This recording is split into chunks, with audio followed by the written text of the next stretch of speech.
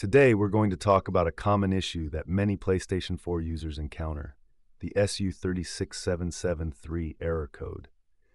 This error code typically appears when you're trying to update your console's system software, but for some reason, the update fails. Don't worry though, because in this video, I'm going to show you how to fix this error and get your PS4 back up and running smoothly. First things first, let's try some basic troubleshooting steps. Start by checking your internet connection. Make sure you have a stable and reliable internet connection, as a weak or intermittent connection can cause the update to fail. If your internet connection is fine, move on to the next step. Next, try restarting your PS4. Sometimes a simple restart can resolve software-related issues.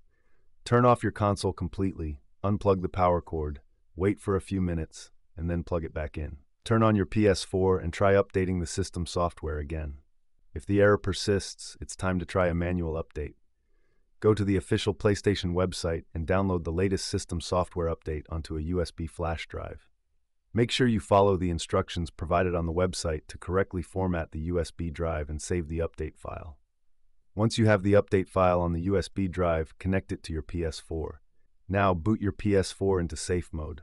To do this, turn off your console completely. Once it's off, press and hold the power button until you hear two beeps.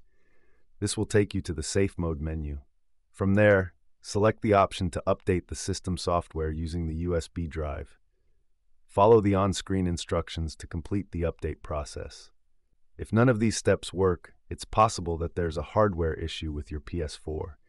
In this case, I recommend contacting PlayStation support for further assistance. They have a team of experts who can help diagnose and resolve any hardware-related problems.